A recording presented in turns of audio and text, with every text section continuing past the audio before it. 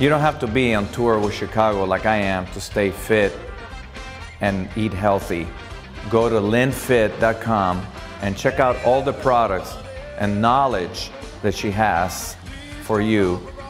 And check out those protein shakes, the complete protein shakes.